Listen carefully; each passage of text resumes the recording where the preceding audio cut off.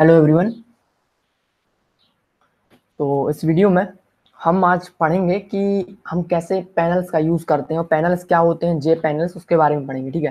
तो last video में हमने देखा हुआ था कि हमने फ्लो लेआउट्स के बारे में पढ़ा ग्रिड लेआउट के बारे में पढ़ा बॉर्डर लेआउट के बारे में पढ़ा। ये कुछ लेआउट्स हैं जिसकी हेल्प से हम और भी कंपोनेंट्स को अच्छे तरीके से लेआउट क्रिएट करके वहाँ पर अच्छे से अरेंज कर सकते हैं अपने फ्रेम के अंदर, ठीक है? तो फ्रेम में हम सारे कंपोनेंट्स एक साथ नहीं करेंगे है ना? एक साथ हम वहाँ पर सेट नहीं करते हैं। जैसे कि मैंने लास्ट एग्ज़ाम्पल में भी आपको बतलाया था कि हम जे पैनल का यूज़ क्यों करते हैं। जैसे कि इंट्रोडक्शन दिया हुआ था तो मैंने आपको बताया था कि अगर हमने फ्रेम क्रिएट किया हुआ है, इस तरह से एक फ्रेम है तो हम इसमें बटन इसमें और भी फील्ड्स होते हैं टेक्स्ट फ़ील्ड टेक्स्ट एरिया ये सब हम डायरेक्टली ऐसे ऐड नहीं कर सकते हैं, ठीक है? तो हमें एक लेआउट क्रिएट करना होता है। जो कि कॉम्प्लेक्स लेआउट होते हैं जिनको हम टुकड़ों में बनाते हैं, ठीक है? अगर एक हमको बहुत बड़ा लेआउट क्रिएट करना है तो बहुत सारे कंपोनेंट्स है तो हम इसको टुकड़ों में क्रिएट करते हैं। टुकड़ों में कैसे? हमारे पास एक और कंटेनर होता है, जिसको हम कहते हैं जे पैनल जे पैनल को हम यहाँ पर ऐसे कुछ, मान लीजिए यहाँ पर दो हमने जे पैनल्स को ऐड किया और इस जे पैनल के अंदर यहाँ पर हमने फॉर्म क्रिएट कर दिया, यहाँ पर हमने टेबल क्रिएट किया। तो ये दो पार्ट में डिवाइड हो गया हमारा लेआउट एक जे पैनल पहला जे पैनल एक दूसरा जे पैनल तो इस तरह से हम इसको मैनेज करने में आसानी होती है फाइन तो जे पैनल्स का यूज़ हम क्यों करते हैं? एक फ्रेम के अंदर हम और भी जो कॉम्प्लिकेटेड लेआउट्स होते हैं, उनको क्रिएट करने के लिए जे पैनल का यूज़ करेंगे। तो जे पैनल एक कंटेनर है जे पैनल के अंदर हम दूसरे कंपोनेंट्स को ऐड कर सकते हैं।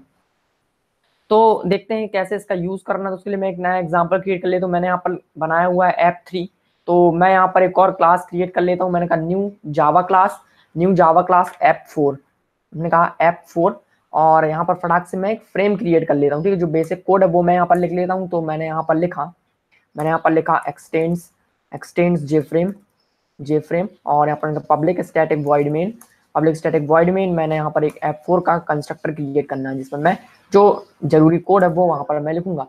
इसे इम्पोर्ट करेंगे और यहाँ पर मैंने कंस्ट्रक्टर क्रिएट किया, मैंने कहा एप फोर कंस्ट्रक्टर क्रिएट किया, हमने कहा this dot set visible set visible is equal to हमने कहा ट्रू इसके बाद मैंने कहा this dot set size set size size set करना तो हमने कहा 900 कॉमा कॉमा 500 और मैंने कहा this dot this dot set layout set layout sorry set layout हमने कहा न्यू बॉर्डर लेआउट हम यहाँ पर सेट करना चाहते हैं। तो बॉर्डर लेआउट के लिए आप लास्ट वीडियो देख लीजिए, उसके बाद आपको आसानी से समझ में आएगा बॉर्डर लेआउट क्यों सेट किया। बॉर्डर लेआउट सेट किया हुआ नाउ कंस्ट्रक्टर कॉल करेंगे तो हमने कहा app four app four is equal to हमने कहा new new app four fine और जो टाइटल होगा हमारे हेडर का, जैसे कि आप देखो नेटबीन्स में आप टाइटल क्या है? Swing application one Apache NetBeans तो ये टाइटल है। तो टाइटल कैसे क्या सेट करते हैं? हमने कहा this dot set title set title यहाँ पर स्ट्रिंग पास करेंगे, हमने कहा this is this is app four okay done application को रन करेंगे तो आप यहाँ देखो कि फ्रेम क्रिएट हुआ जिसका टाइटल है एप फोर ना पैनल्स कैसे ऐड करेंगे? तो पैनल्स के लिए हमारे पास एक क्लास है जे पैनल डॉक्यूमेंटेशन देखेंगे। तो यहाँ पर आप देखोगे कि यहाँ पर एक क्लास है जे पैनल क्लास जो कि जावा एक्स स्विंग पैकेज में है। और जिसका अल्टीमेट पेरेंट है पेरेंट कौन है? एडब्ल्यू का कंपोनेंट क्लास मतलब कि ये कंपोनेंट है और साथ ही साथ एडब्ल्यू कंटेनर तो ये कंटेनर है। कंटेनर किसे कहते हैं? जो कि अपने अंदर दूसरे कंपोनेंट्स को होल्ड कर सकता है, उसे हम कंटेनर कहते हैं। तो जे पैनल एक कंटेनर क्लास है, ठीक है? तो बात करते हैं कंटेनर कैसे क्रिएट करेंगे? जे पैनल का जो कंस्ट्रक्टर है क्या क्या है? तो जे पैनल का एक कंस्ट्रक्टर है, जो कि सिंपल सा एक जे पैनल क्रिएट करता है और इसमें जो लेआउट है, वो flow layout by default set होता है। इसके बाद एक लेआउट मैनेजर आप यहाँ सेट कर सकते हो, अगर आप बाय डिफ़ॉल्ट नहीं चाहते। तो यहाँ पर हम एक ज़ीरो पैरामीटर कंस्ट्रक्टर कॉल करेंगे और देखेंगे, ठीक है? तो यहाँ पर मुझे ऐड करना है जे पैनल तो मैं यहाँ पर एक प्राइवेट मेंबर क्रिएट कर लेता हूँ। मैंने कहा private private J panel private J panel इसका नाम हमने रखा पैनल वन पैनल वन और इसी तरह से मैं एक और पैनल क्रिएट कर लेता हूँ, मैंने कहा पैनल टू तो दो पैनल्स मैंने क्रिएट किए, मैं उसे फ्रेम में ऐड करूँगा। तो मैं क्या यहाँ पर क्या करने जा रहा हूँ कि मैं यहाँ पर एक, मैंने फ्रेम क्रिएट किया हुआ है। मैंने एक फ्रेम क्रिएट किया, ऐसे मैंने दो पैनल्स को क्रिएट किया। ये दो पैनल्स है। पैनल का कोई हाइट नहीं है, कोई विथ नहीं है अभी। तो मैंने यहाँ पर सेट किया हुआ है। ना मैं इन दोनों को यहाँ पर ऐड करना चाहता हूँ। तो एक को मैं यहाँ ऐड करूँगा, एक को मैं कुछ तरह से ऐड करूँगा। तो दो यहाँ पर मैं ऐड करूँगा, ठीक है? तो मैंने दो पैनल्स को क्रिएट किया। ना उसे ऐड कैसे करेंगे? तो हमने यहाँ पर कहा दिस डॉट एड तो हमको पैनल वन को ऐड करना है। इसी तरह से हमने कहा पैनल टू को ऐड करना है। दोनों ऐड हो गए होंगे रन करेंगे एप्लीकेशन को तो नल पॉइंटर एक्सेप्शन क्योंकि मैंने उसे इनिशियलाइज नहीं किया है। फाइन तो इनिशियलाइज कर लेंगे पहले उसको। तो हमने यहाँ पर कहा panel one is equal to हमने कहा new J panel new J panel इसी तरह से मैंने पैनल टू को भी इनिशियलाइज किया। ना उसे ऐड करेंगे तो ये सिंपली ऐड हो जाएँगे। ऐड हो गए ये हमको शो नहीं हो रहे हैं, क्योंकि जो उसका कलर है बैकग्राउंड कलर वो सेम है फ्रेम के कलर जैसा है। ठीक है? कोई प्रॉब्लम नहीं है। आ, इसको देखेंगे। तो आप देख रहे होंगे मैंने अभी यहाँ एप्लीकेशन को क्लोज किया है लेकिन क्लोज नहीं हुआ है ठीक है? तो इसका क्या रीजन है कि मैंने सेट डिफ़ॉल्ट ऑपरेशन यहाँ पर नहीं लिखा है। मैंने कहा this dot this dot set default close operation मैंने कहा exit on exit on close exit on close fine तो सही है। इसके बाद हमने पैनल को ऐड कर दिया। तो पैनल जो ओवरराइड हो गए होंगे तो इसके लिए हमने पढ़ा था लास्ट क्लास में हमने लेआउट सेट करना होता तो हमने लेआउट सेट किया बॉर्डर लेआउट ना बॉर्डर लेआउट में आपको बताना होगा कि इस पैनल को आप किस साइड पे ऐड करना चाहते हो। मैं इसको एक को ईस्ट में और एक को वेस्ट में ऐड करना चाहता हूँ। मैंने यहाँ पर लिखा border layout border layout dot east dot east और मैं दूसरे को कहाँ ऐड करना चाहता हूँ? मैंने कहा border layout dot dot west ठीक है? या फिर मैं एक को सेंटर में रख देता हूँ और दूसरे वाले को वेस्ट में ईस्ट में, ठीक है? तो सेंटर में रखोगे या फिर साउथ में रखोगे बात एक ही है यहाँ पर। वेस्ट में रखो बात एक ही है। तो मैंने इसको ऐड किया। ना कलर सेम इसलिए मुझे समझ में नहीं आएगा कि कौन सा वाला कहाँ ऐड होता है मैं कलर ऐड कर सकता हूँ।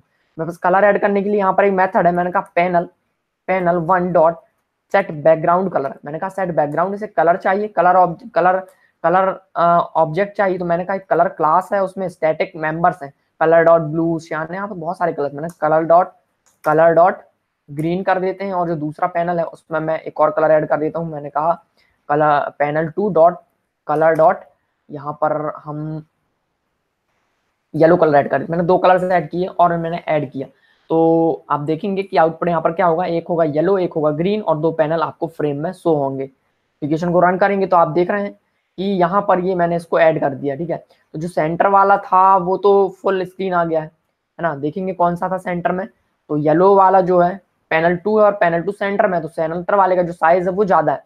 तो अगर आप ग्रीन वाले का साइज़ बढ़ाना चाहते हैं तो यहाँ पर एक और मेथड है हमारे पास। हमने कहा panel one panel one dot set set set size set preferred side आपको यहाँ पर यूज़ करना है। सेट प्रिफर्ड साइज़ तो प्रिफर्ड साइज़ आप क्या चाहते हैं? यहाँ पर आपको एक डायमेंशन पास करना है डायमेंशन ऑब्जेक्ट क्रिएट करेंगे। हमने कहा न्यू डायमेंशन न्यू डायमेंशन और हाइट एंड विथ देना है आपको। सबसे पहले विथ कितना चाहते हैं? तो मैंने कहा 200 और जो हाइट है वो जो हाइट है, वो फुल होगी। आप अगर हाइट यहाँ पर 50 पास करते हैं तो उसको कोई फ़र्क नहीं पड़ेगा, क्योंकि जो फ्रेम का साइज़ है वही यहाँ पर इसका हाइट होगा, ठीक है?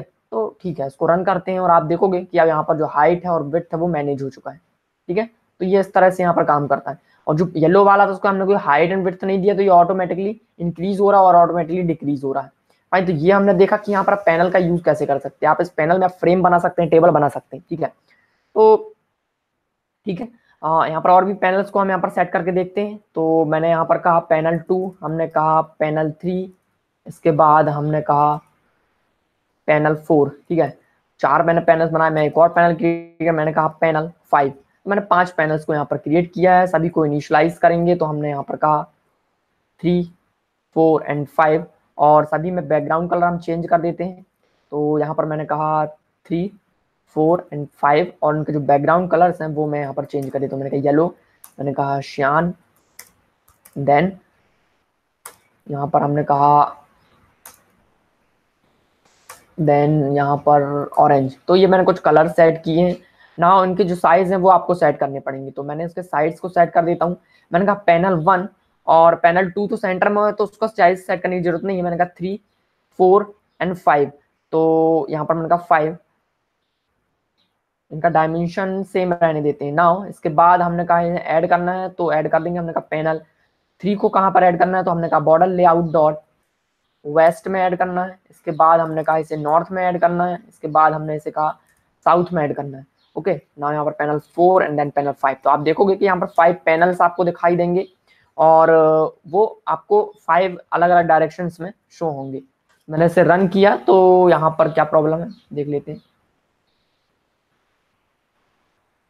ओके तो यहाँ पर आपको दो ही यहाँ पर शो हो रहे हैं ठीक है? दो क्यों शो हो रहे हैं? वो देख लेते हैं एक बार।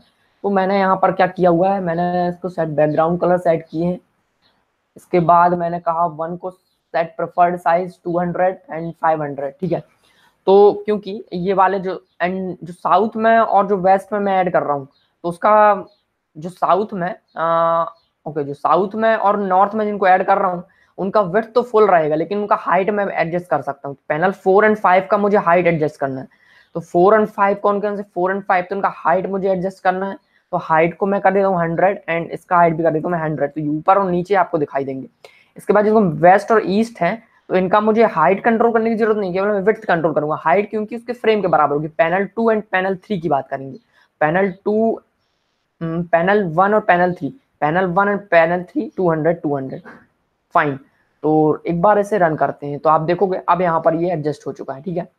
तो जो मैंने कहा है वो आपको समझ में आ रहा होगा कि मैंने यहाँ पर क्या यहाँ पर आपको बताया कि अगर मैं साउथ में ऐड करता हूँ नॉर्थ में, ये हो गया साउथ का एरिया ये हो गया साउथ का एरिया मतलब साउथ या फिर नॉर्थ और ये हो गया साउथ या फिर नॉर्थ तो ये ऊपर और नीचे जो है, इसको हम साउथ और नॉर्थ डायरेक्शन है ये तो अगर मुझे यहाँ पर मैं ऐसी साइज़ सेट करता हूँ तो इसकी जो विथ होगी इसकी जो विथ होगी वो सेम एज फ्रेम होगी। तो इसकी विथ को मैं कंट्रोल करने की ज़रूरत नहीं है, केवल हाइट को कंट्रोल कर मैंने हाइट को यहाँ पर हंड्रेड पास किया हुआ और मैंने इसका भी हाइट हंड्रेड सेट किया। तो ये हंड्रेड हंड्रेड हाइट है इक्वल हाइट नाउ इसकी विथ को मैं कुछ नहीं कर सकता हूँ। नाउ अगर मैंने ईस्ट और वेस्ट में सेट किए हैं तो मैं इनकी हाइट को कंट्रोल नहीं कर सकता। हाइट इसकी फुल रहेगी, ठीक है? इसने जो एरिया लिया, उसके बाद जो हाइट है, वो इसकी फुल रहेगी। तो मैंने केवल विथ को कंट्रोल किया। विथ मैंने सेट किया 200 इसका भी मैंने किया 200 और जो बाकी जो बचा हुआ एरिया है सेंटर वाला पार्ट है, वो सेंटर वाला जो एरिया है पैनल वो ऑटोमेटिकली स्ट्रेच हो जाता है। फाइन तो अगर आप इसे रिसाइज करते हैं तो भी आप इसको देख सकेंगे कि आपका ये डिज़ाइन है, वो रिस्पॉन्सिव डिज़ाइन होता है, ठीक है? ये देखेंगे, जैसे जैसे मैं इसको छोटा करूँगा, वो उस हिसाब से एडजस्ट होता है। तो येलो वाला जितने में आएगा, वो उतने में आ रहा है। अगर ये 200 ही रहेगा, लेकिन येलो वाला ऑटोमेटिकली छोटा होता जा रहा है। ये देखेंगे आप तो कुछ इस तरह से। अगर जो येलो जो ग्रीन वाला है अगर 200 साइज़ को नहीं मिलता है तो वो हाइड हो जाएगा। ये देखो आप इस तरह से फाइन तो ये जो पैनल है वो इस तरह से काम करते हैं, हमने पैनल को ऐड किया, ठीक है? तो नेक्स्ट वीडियो में आप बात करेंगे कि आप पैनल में दूसरे कंपोनेंट्स को कैसे ऐड कर सकते हैं और कैसे आप डिज़ाइन को क्रिएट कर सकते हैं fine okay thanks for watching and subscribe for more videos thank you